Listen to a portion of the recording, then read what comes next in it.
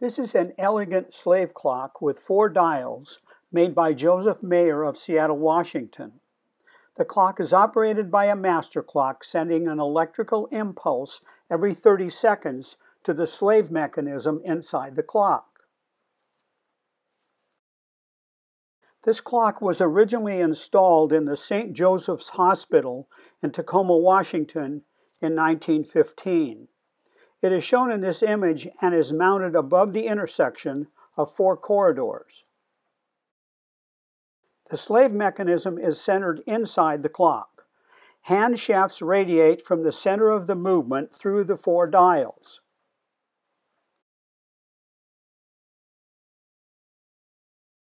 With the movement disassembled, the four hand shafts can be seen.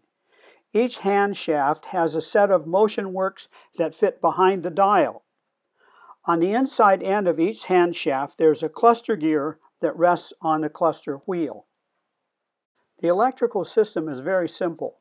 There's only one electrical impulse slave mechanism and one ratchet wheel. The ratchet wheel is on the hand shaft adjacent to the slave mechanism.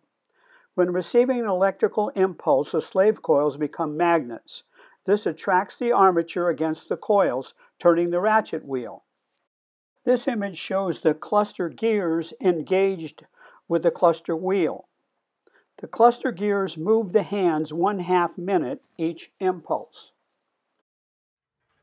This is a close look at the mechanism in operation. It just moved.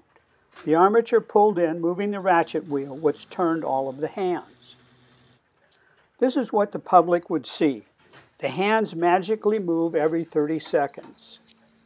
Very simple, very reliable, and mechanically beautiful. Thanks for watching.